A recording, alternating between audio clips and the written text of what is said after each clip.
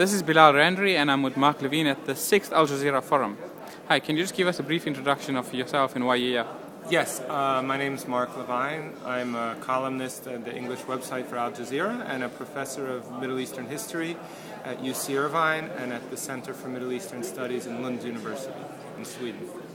Cool. The uh, revolutions in the region so far, um, you've obviously been following them very, very closely. Where do you see things going in the next few months, years?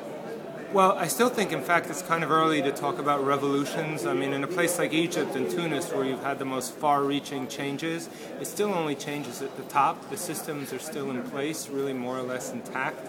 So I think what's going to happen now, and we've seen this in the last few days in Egypt, we're going to see the the elements that want to preserve the status quo in some form are going to start trying more and more ways from millions of different angles to upset the balance of the forces that want to change in order to preserve the status quo.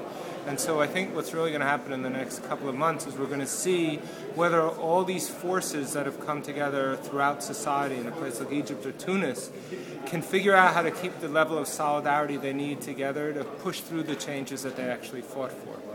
Uh, with Egypt specifically, do you think uh, at least a perceived lack of leadership is, is part of, of, of the problem there that needs to be solved pretty soon, or well, you know, I think at some moments a lack of leadership is really good and useful, and then at other moments it can become a problem. You, you, see this, of course, in Libya right now, where there's no really unified opposition that, that people can recognize at the international level. I, I think, you know, I mean, I was there during the revolution. I sat in on some of the meetings of some of the young organizers, and they're much more united than we think.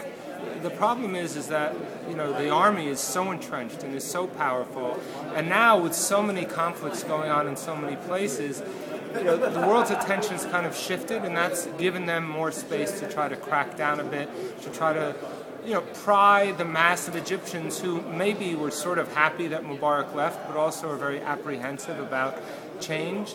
And, and the goal clearly of the army is try to separate the mass of Egyptians by, by saying, you know, we've done changes, we're moving from the activists who know really how far the change has to go in order to be real.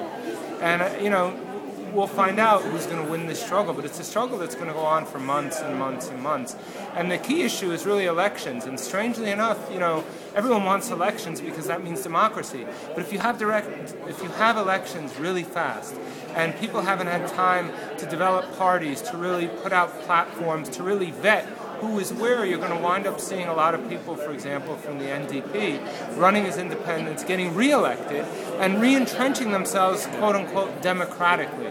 So we're in a situation where the activists who really want true democracy can very easily be made to look like strange or like I thought you wanted democracy, now you're saying we shouldn't have elections really soon.